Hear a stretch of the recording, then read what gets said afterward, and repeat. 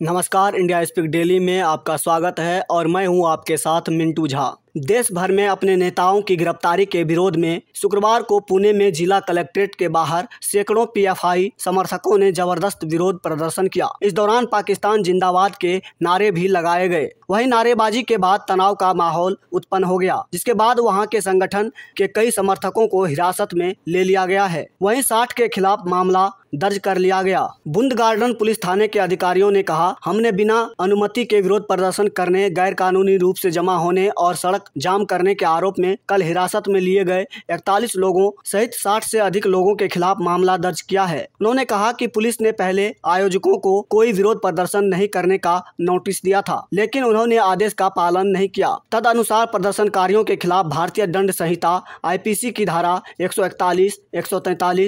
इकतालीस एक और एक सौ उनचास सभी गैर कानूनी विधानसभा से संबंधित तथा एक सौ अट्ठासी लोक सेवक द्वारा विधिवत आदेश की अवज्ञा और तीन सौ इकतालीस गलत संयम के तहत अपराध दर्ज किया गया था। और महाराष्ट्र पुलिस के अधिनियम की धाराओं के तहत भी इन पर मामला दर्ज किया गया है। जब से देश में पीएफआई संगठनों पर एनआईए की छापेमारी पड़ी है, तब से देश में कई जगह उनके समर्थक विरोध प्रदर्शन कर रहे हैं। अभी के लिए फ़िलहाल इतना ही। तो इसी तरह की महत्वपूर्ण जानकारी के लिए बने रहिए इंडिया स्पीक डेली के साथ। धन्यवाद।